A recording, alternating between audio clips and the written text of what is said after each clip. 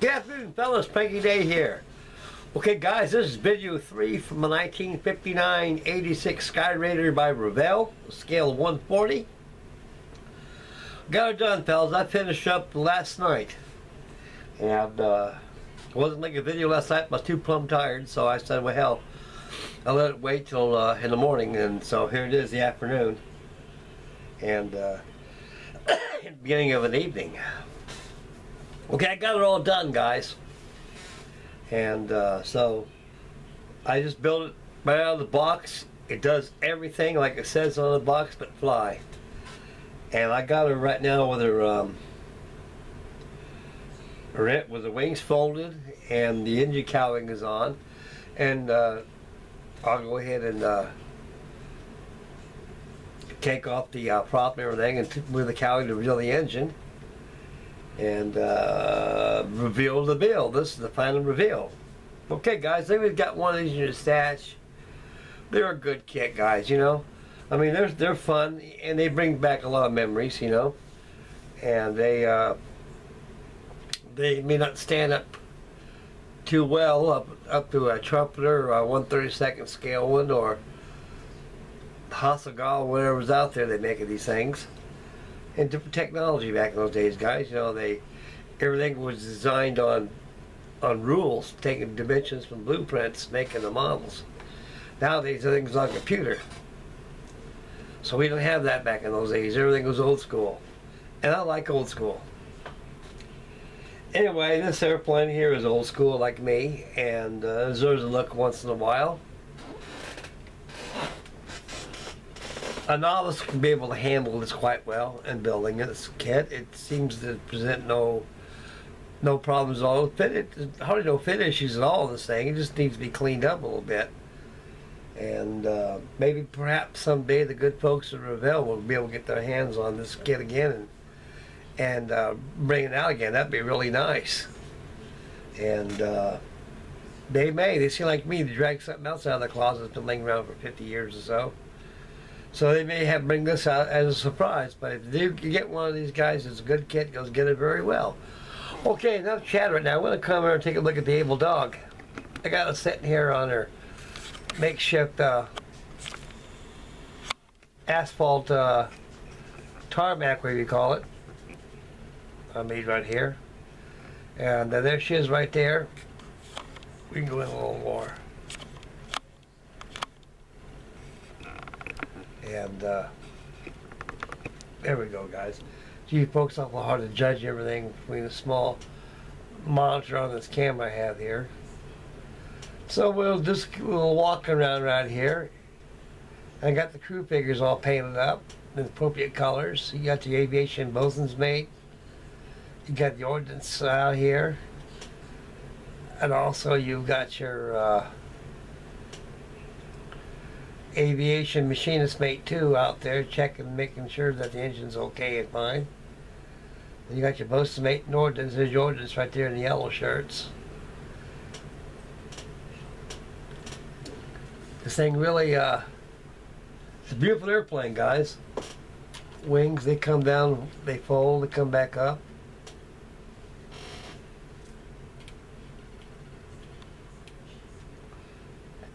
Landing gear folds as I demonstrated on the last video. Dive brakes work.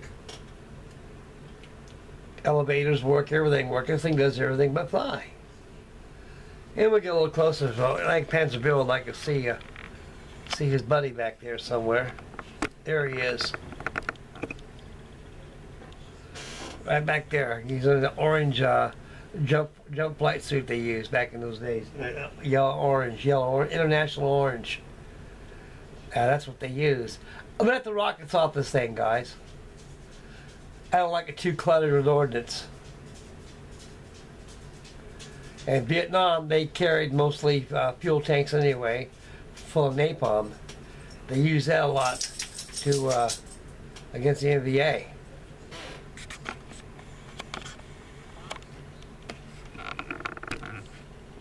This is one kind of an airplane, guys. You'll never find anyone in the world that could do what this airplane does as a gimmick model. I mean, let me tell you guys, this is a very beautiful airplane. I really enjoy it, and it really demonstrates the features of it. You know, which is really, really neat. It's not highly recommended as a toy to play with 24 hours a day because something's going to break. But once in a while, you can amuse your friends, take it to a hobby show and show the features. And some guys say, "Oh yeah, I built one of those one time ago." Couldn't get the darn thing to work, so you can demonstrate your model and show how things work. Okay guys, right here we're going to take the prop off.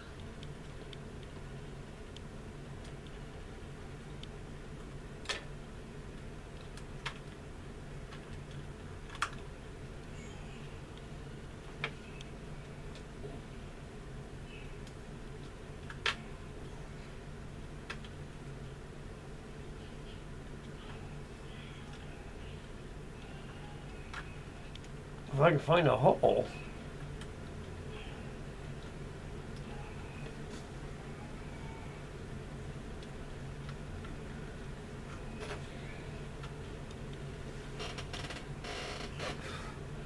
There it is. Took the cowling off, guys. And we'll zoom a little bit more the engine. The engine, they give you a wonderful Wright Cyclone 2800 horsepower motor in this thing. This thing is really loaded. For its day, this thing was very, very highly detailed. As you can see right here, it was, uh, you couldn't keep these things on hobby shops.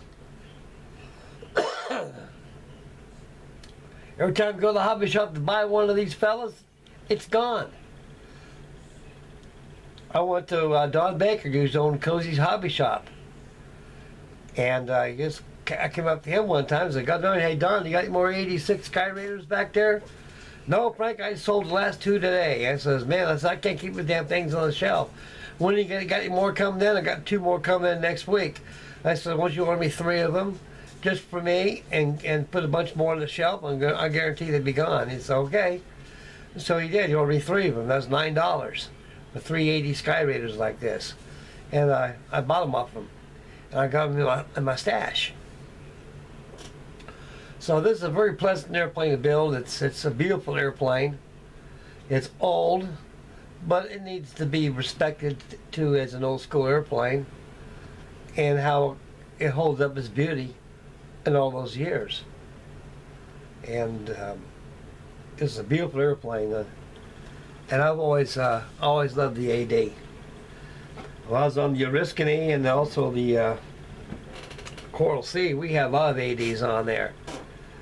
And uh, there, at the time, uh, I would say probably as late as 1966, 66, about 66 or 67. Somewhere around those two years right there. I'd say around 66, they, they, they did away with uh, shipboard Skyraiders and they started moving into the scooters, the 840 Skyhawks. They were, they, were the, they were the successor to the ADs because the ADs were getting aging, so they wanted to be able to use them more. So what they, had, what they did, fellas, went ahead and gave them to the uh, South Viet Cong, South Vietnamese Air Force. And they known regarded as Spads or Sandys. And uh, they were, those little guys are so small you had to put a goddamn parachute sack, a parachute uh, kit, you know, behind his back and scoot him up forward so he can get his, so he can put his feet on the rudder pedals. And uh, so, so what they did, they they had a lot of, it was like all airplanes during during a, a, a campaign, an event. They always had mechanics out there that always modified things and added, and they retrofitted to. Uh, to airplanes. So they had so what they did with Sandys, they they made the seats. They they, they out the old seats, made custom made seats for the South Vietnamese Air Force, so they can be able to uh, fly the airplanes over better because they they were short and they they weren't big like us, you know, and uh, they couldn't reach the rudder pedals. So by scooting up forward more, they can be able to have a they can be able to get to the rudder pedals lot more. So a lot of the seats were actually retro, new seats were retrofitted to the uh, Sandys. And boy, them things really scream when they come by. They in a good good dive, they can go over 400 miles an hour, and they're pretty fast. And they're strong. They can take a beating and come back for more. Very versatile. The AD is supposed to be the uh, successor to the um, SB2C Helldiver. but they found out they um, they found out that they were obsolete uh, when the war came to an end. There was no need to, uh, to use um, Helldivers, and also no, no longer to use these ADs. So Douglas Aircraft Company was stuck with a bunch of ADs. And so, of course, the hostilities started to heat up in Korea. That's when they first got involved in the Korean War campaign. They were painted all blue and most influential Essex class carriers, the Shangri-Las, that we had after World War II. A lot of a lot of the stuff in the Korean War was uh, was World War II vintage uh, equipment that we had. That's all it was, the technology we had. So we had to make use of best of what we had best to use. And the ADs were proving themselves a very successful piston uh, powered airplane, and they they went ahead and uh, used them all the way up to night till at least uh, the, the, late 1960s. And the other air forces used them up to the 1980s. And um, so the Navy, the ADs were actually, by 1973, the ADs were, the United States Navy were actually were uh, stricken from the Naval Register as obsolete aircraft. And I guess the, A-4 Skyhawk, which is a scooter, more or less uh, was the successor to this air aircraft. But the AD Skyraider was one hell of an airplane for its day. It can deliver. Okay. You gotta excuse my tone of voice, fellas. I went down to the VA and checked out with shaking my head and I got sinus infection going on. Ohio is the most greatest, foulest state there is in the Union when it comes to sinuses. And I tell you one thing, guys. Those sinuses make you feel like you got colds, but you don't. It just drains the back of your throat. You're constantly, constantly coughing. And uh, so I went down and got some pills from the shaker mechanic down at the VA. And so I got squared away there, so I'll be up to snuff pretty soon. I feel good. It's just that there's darn hacking, hacking this darn phlegm from my throat all the time from my sinuses. It's really a, it's really a drag. Okay, guys, uh, next video we have is going to be video number two on the yacht Atlantic that I've been doing. The AD's done. I'm going to go ahead and pop the cowling back on, snap the prop on back on, put this back in the box that I made, batten her up, run her down there to the bosun locker down below, and uh, turn two on the uh, ITT, ITC Yacht America, Yacht Atlantic that is. Why I keep saying the America, I don't know. Almost got the America on my mind. And also I'll be on the uh, the Tiffy too. So tomorrow I'm going to spend a great deal all day long on the Tiffy. I'm to have the whole thing joined together. Now let's go ahead and work on the rest of the parts and get this thing probably next probably next week. I'll probably have that thing all primed ready for final painting.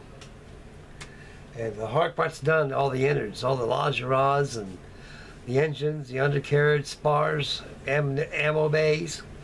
And still, I'm going to have the ammo bays in an open, open position so you can be able to see um, uh, see the ammunition in there. Because I, I like to reveal that as much as possible of everything, you know. Leave the engine panels off so you can see that massive engine that the uh, that a Typhoon used. And uh, well, that thing was that's one heavy airplane model. I'll tell you one thing, guys. That's a heavy model. The B-29 was heavy. But that Tiffy's heavy my biggest scare is the, is the undercarriage. Hope it's be able to be strong enough to uh, hold the weight of that thing without something snapping and breaking. So I may be engineer some tubing or something I might be using. I know. I come to that bridge, I'll make a decision what I'll be doing. So uh, that's distance from now for what I got to do on it. So I have uh, a Tiffy video coming up this week too. I'll probably have it by Thursday. Yeah. Thursday I have another video on the Tiffy and some pictures we posted uh, on Mr. Martin Lamott's Facebook page on the on the uh, uh, Snippy TV group build, and uh, still going strong. So right now I'm going to jump on the Atlantic. I'm going to put the AD away and get her put away out of harm's way so she'll get broken. And uh, I should have a video of the um, of the Atlantic by tomorrow. Another one. So right now I got to finish up the deck fittings, put the boat davits on there, and get the boats all painted up and everything and detailed. and I'll step up the mast. And it's gonna be a fast build in this one. Gonna take much, ain't much to rig up a darn a yacht, and uh, especially with a with a gaff rig, you don't take that much. Gaff rigs are very simple to rig, but it's a beautiful, graceful model she is, a low one at that. Okay, guys, it's time for you to get out of here right now. So tomorrow, stay tuned for the uh, yacht Atlantic, maybe video number two for her, and um, that'll be it. And oh yeah, I might make a special video tonight called Builds of the Past. I'm gonna start bringing out Builds of the Past. Keep you guys going. A lot of you fellas out there like that, and I'd like to do it too. So stay tuned for that. I'll bring out a special guest tonight for the uh, Builds of the Past. Okay, make Mama happy as always. God bless you guys. Take care of yourselves. Happy modeling. And uh, please subscribe. And uh, thank you very much for your wonderful comments, everybody. Uh, I'm very honored each one of you guys out there. And you got a great bunch of fellas out there. Okay, I'm out of here, boys. Take care, gentlemen.